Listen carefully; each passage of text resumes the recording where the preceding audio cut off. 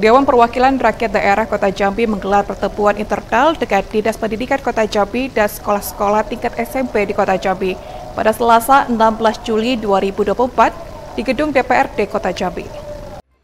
Dalam pertemuan internal yang digelar oleh DPRD Kota Jambi, DPRD Kota Jambi membentuk Pansus DPRD Kota Jambi untuk menyelesaikan permasalahan PPDP di tingkat SMP.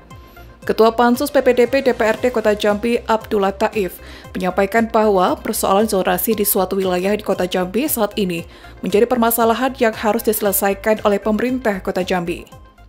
Bukan rapat perdana Pansus terkait isu yang berkembang tentang pertumbuhan PPDP di 2024. Dari perkembangan Pansus yang kita skor pada saat mengingat panggilan sekolah teman-teman sudah menggali, Pansus sudah menggali terkait juknis dari PBDP itu. Untuk sementara ini dapat kita garis bawahi bahwa di dalam juknis kita ini kayaknya kurang kurang tepat. Pertama terkait zonasi. Di zonasi itu eh, pemerintah dalam hal ini dinas pendidikan membuat juknis ada beberapa wilayah atau kelurahan yang sudah dibagi-bagi sehingga ada penumpukan. Penumpukan kelurahan di salah satu sekolah. Kita ambil contoh misalnya sekolah SMP itu begitu besar. SMP 7 begitu besar kelurahan begitu sementara di sekolah di lokasi terdekat dengan itu hanya cuma empat kelurahan. Sehingga ada kesenjangan ada tidak pemerataan nah problem dari PPDB ini ada dua.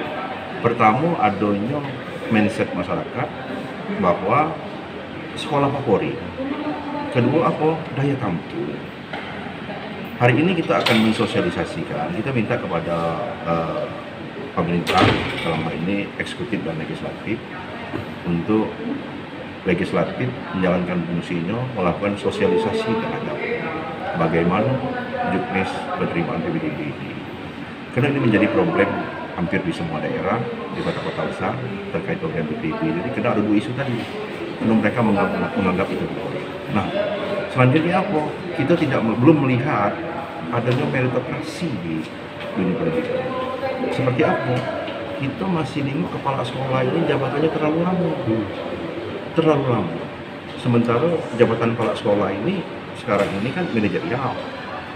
Dia bukan apalagi dia sudah murni menjadi seorang dirjen nah kepala sekolah ini sudah terlalu lama sehingga dia sudah ter, sudah merasa perusahaan dia gitu. Hmm.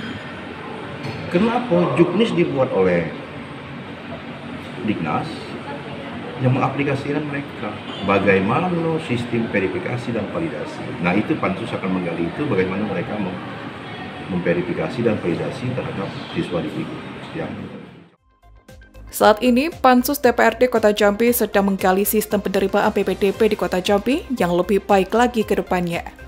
Sandi, JEK TV, melaporkan.